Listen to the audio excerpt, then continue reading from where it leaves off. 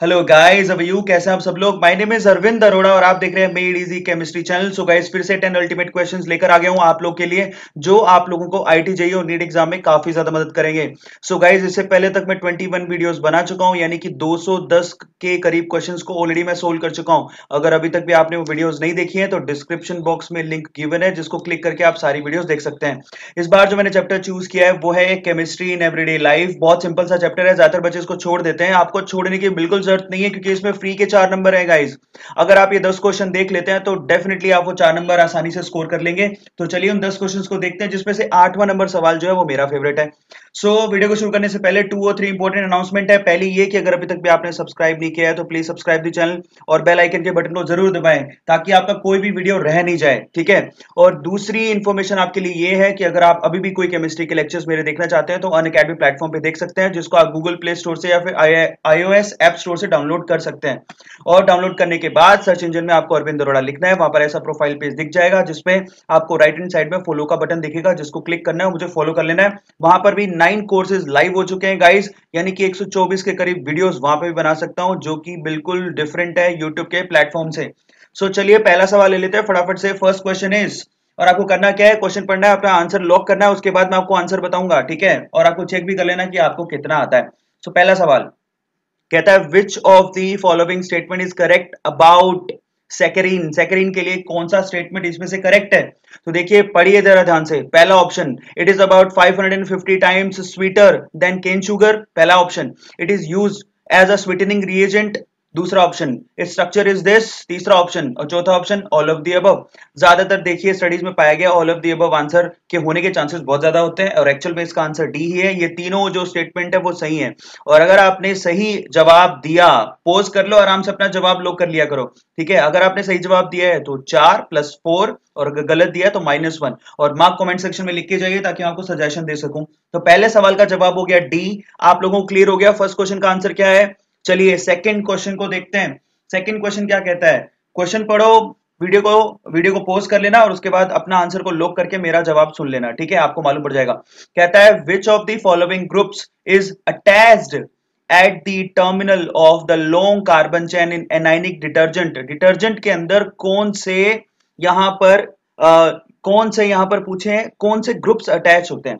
सो so, कौन सा group attach होता है? किससे? डिटर्जेंट एनाइनिक डिटर्जेंट के लिए पूछ रहा है ये। बहुत सिंपल क्वेश्चन है। अपना जवाब को लोक कर लो।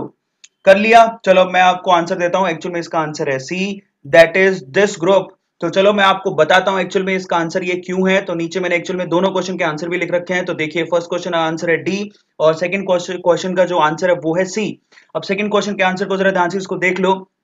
Anionic detergent are sodium salts now look it sodium salt of sulphonate long chain alcohol sulphonate long chain alcohol sodium salt के सल्फोनेट लॉन्ग चेन एल्कोहल्स होते हैं। They consist of large hydrocarbon chain which is non ionic in nature and sulphonate group which is ionic in nature so example भी आपको नीचे दिए हुए जिसको आप अपनी नॉलेज के लिए पढ़ सकते हैं। ये दो क्वेश्चन अभी हो गए। अब चलते हैं अगले सवाल पर। Now the next question is ध्यान से क्वेश्चन को पढ़ना है उसके बाद अपना आंसर लॉक कर लेना, ठीक है? थर्ड क्वेश्चन को देखिए।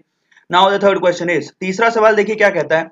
Aspirin an antipyretic drug is chemically पूछ रहा है कि एस्पिरिन का फॉर्मूला क्या होता है या उसको बोलते क्या है? तो अपना आंसर लॉक कर लो।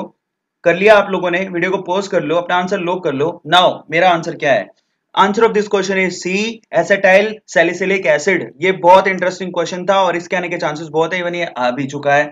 सो so, ये इसका आंसर है एसेटाइल सैलिसिलिक एसिड तो आपने अगर सही किया है तो प्लस फोर और गलत किया है तो माइनस वन मार्क अपने आप को दे दीजिए। और कमेंट सेक्शन में लिख के जाना आपको कंप्लीटली मार्क्स कितने हैं ठीक है? ईमानदारी से honestly come on guys come fourth question की तरफ़ चलते हैं। चलिए फोर्थ क्वेश्चन पढ़िए उसके बाद अपना आंसर लोग कीजिए क्योंकि यहाँ पर तो आंसर दिया नहीं हुआ है। तो कहता है which of the following compound is added to the soaps to reduce the body odor body odor को stop करने के लिए कौन सा compound इसमें से डाला जाता है अपना आंसर लोग करो। देखो, इसमें करने के तरीके क्या होते हैं? आप एलिमिनेशन करा करो एलिमिनेट करा करो कि कौन सा ऑप्शन बिल्कुल भी नहीं हो सकता। एस्पिरिन हो सकता है क्या? ये तो एक ड्रग है, ठीक है? मेडिसिन में यूज़ होती है। तो एस्पिरिन तो नहीं पॉसिबल है। उसके अलावा बचे तीन। आप थोड़ा सा दिमाग लगाओ। अगर आपने कभी भी स्प्रे खरीदा है तो उसके अंदर क्या होता है? कभी देखा है पीछे? तो चलो मैं आपको आंसर करता हूँ। आपका आंसर मिल गया? चलो मैं आपको आंसर करता हूँ। दैट इज़ क्लोर ऑक्सिल ऑक्सैल ऑक्जेलिनॉल ये इसका आंसर है। सो ऑक्सीलिनॉल ये इसका आंसर है, इसको प्रोनाउंशिएट करने में थोड़ी तकलीफ़ होगी सॉरी सो इसका आंसर है सी ठीक है? और अब इसका आंसर ऐसा क्यों है? चलो मैं आपको इन दोनों आंसर्स के दर्शन करवा देता हूँ। यहाँ थर्ड एंड फोर्थ चलिए, आपको नॉलेज के लिए बता देता हूँ। एस्पेरिन देखिए, यहाँ पर अगर ये ग्रुप अटैच नहीं होता तो उसको सैलिसिलिक एसिड बोलते हैं, लेकिन ये ग्रुप अटैच है, इसको एसिटाइल बोलते हैं तो फाइनली ये उसका फॉर्मूला होता है एस्पेरिन का। फोर्थ का क्वेश्चन का आंसर मैंने आपको बताया सी वो क्यों है? Some phenolic anti bacterial which have proved to be effective body deodorant are parachloro meta and dichlorometaxylenol और ये उनके फॉर्मूला है। किसका? पैराक्लोरो वाले का, ठीक है? सो ये आपकी नॉलेज के लिए बताया कि थर्ड और फोर्थ का आंसर क्या है और क्यों है। चलिए, आपने अगर अच्छा स्कोर किया है तो अपने लिखते जाइए स्कोर को, ठीक है? नेक्स्ट क्वेश्चन अगले सवाल पर चलते हैं। फिफ्थ और सिक्स क्वेश्चन देखो इसको ध्यान से पढ़ना है, अपना आंसर लॉक करना है। पांचवा सवाल देखिए, कहता है which one of the following is not use as a filler in laundry shops इसमें से कौन सा है जो कि लॉन्ड्री शॉप्स में फिलर के जैसे यूज़ नहीं किया जाता? बहुत इंटरेस्टिंग है वीडियो को पोस्ट करो, अपना आंसर लॉक करो। Come on come on simple है। तो चलो मैं आपको आंसर बताता हूँ। एक्चुअल में इसका आंसर है ए आप लोगों को ध्यान रखना होता है कि बोरेक्स सोप इंडस्ट्री में यूज़ होता है सोडियम तो होता ही है। सोडियम कार्बन सोडियम सिलिकेट तो जो नहीं होता वो है ग्लिसरोल। क्या ग्लिसरोल सॉप इंडस्ट्री में यूज़ होता है एज अ फिलर बिल्कुल भी नहीं होता। इसका आंसर क्या हो गया? ए अगर आपने ए लिखा है तो प्लस चार। और अगर आपने ए नहीं लिखा है तो माइनस वन ईमानदारी से लिखते जाइए। अपने मार्क्स कितने होंगे कमेंट सेक्शन में आपको कमेंट करके जाना है। छठे सवाल पर चलते हैं। Six question which of the following is a broad spectrum drug आपको पूछ रहा है कि इसमें से ब्रॉड स्पेक्ट्रम ड्रग कौन सी है? तो आपने क्या आंसर चेक कर लिया? क्या आपने आंसर लॉक कर लिया? तो चलो, मैं आपको बताता हूँ एक्चुअल में इसमें ब्रॉड स्पेक्ट्रम ड्रग कौन सी है? चले आंसर पर। कमॉन गाइस कमॉन तो चलो गाइज़ मैं आपको इसका आंसर बताता हूँ एक्चुअल में इसका आंसर है सी क्लोरफेनिकोल और क्लोरफेनिकोल इसका आंसर है गाइज़ ये दो क्वेश्चन और हो गए। अगर आपने सही किया तो फिर से प्लस चार, और अगर आपने गलत किया है तो माइनस वन सो ये छह क्वेश्चन कंप्लीट हो चुके हैं, और अपना स्कोर चेक करते जाइए। तो पाँचवें क्वेश्चन का आंसर था ए और छठे क्वेश्चन का आंसर था सी नेक्स्ट क्वेश्चन पर चलते हैं। अगले सवाल, पाँचवें छोटे के बाद सातवें और आठवें सवाल पर चलते हैं। Next question now look at it अगले सवाल क्या है? सो so, सातवां सवाल। फिर से क्वेश्चन को पढ़ना है और अपना आंसर लॉक कर देना है। क्वेश्चन क्या कहता है? जरा ध्यान से इसको पढ़िए। Which of the following cause allergy इसमें से क्या है जो एलर्जी को एलर्जी के लिए जिम्मेदार है? सो so, अपना आंसर लॉक कर लो। ये आपको नहीं आता होगा मे बी सो ये सिर्फ़ मगअप करने वाले क्वेश्चन है बड़े इंपॉर्टेंट भी है। तो हिस्टमाइन जो है बेसिकली बी ऑप्शन है हिस्टमाइन जो कि एलर्जी के लिए कॉज एलर्जी की कॉज है बेसिकली ठीक है? हिस्टमाइन जो आप लोगों को ध्यान रखना है तो इसका आंसर क्या हो गया? बी अब एट्थ क्वेश्चन पर चलते हैं। आठवां सवाल मैंने आपसे कहा था कि मेरा फेवरेट है। क्या पूछता है which of the following statement is incorrect about penicillin पूछ रहा है पेंसिलिन के लिए कौन सा स्टेटमेंट इनकरेक्ट है? पेंसिलिन तो आपने सुना होगा, चलो सेवंथ में मानता हूँ, नहीं सुना होगा, लेकिन एट तो सुना है। तो अब बताइए इसका आंसर क्या अपना आंसर लॉक कर लो। एंसिलिन पेंसिलीन क्या एक एंटी बैक्टीरियल ड्रग है? फंगस है? पहला ये नॉट करेक्ट पूछ रहा आपसे, ठीक है? That second a penicillin is its synthetic modification क्या ये एम पेंसिलिक इसका सिंथेटिक मॉडिफिकेशन है? C it is a broad spectrum anti antibiotic और डी ऑल ऑफ़ दी अब अब देखिए, ये क्यों इंटरेस्टिंग हो जाता है? क्योंकि पहली बार ऐसा है कि ओटा इसका आंसर बिल्कुल नहीं है। एक्चुअल में इसका आंसर है सी आप लोगों को ध्यान रखना है।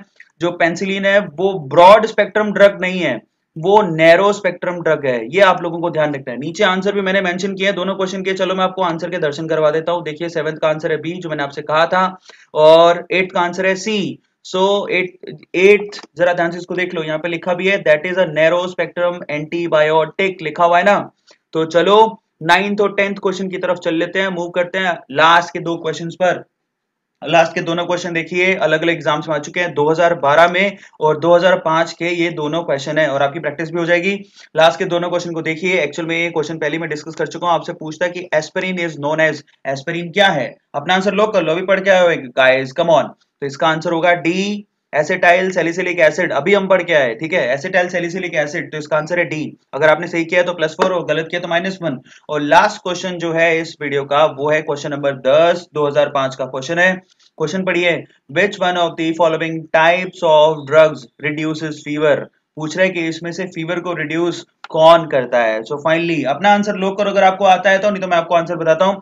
इसका आंसर है बी लास्ट क्वेश्चन का आंसर होगा B that is antipyretic antipyretic इसका आंसर है, जो कि टेम्परेचर को रिड्यूस करता है गाइस तो मेरी तरफ़ से 10 अल्टीमेट क्वेश्चन हुए अगर आपको अच्छा लगा हो तो प्लीज़ शेयर ज़रूर करके जाओ सब्सक्राइब करो लाइक करो कमेंट करके जाओ, ताकि ऐसे अच्छे अच्छे वीडियोस हम आप लोगों के लिए डेली लेकर आ सके। गाइस इतना तो आप कर ही सकते हो we are working very hard on you जब तक एग्ज़ाम नहीं हो जाता, हम लोग आप लोगों के लिए डेफिनेटली जितने भी यूट्यूब एजुकेटर है डेफिनेटली आप लोग के लिए डेली अपलोड करते ही रहेंगे। So guys stay tuned thank you so much thanks a lot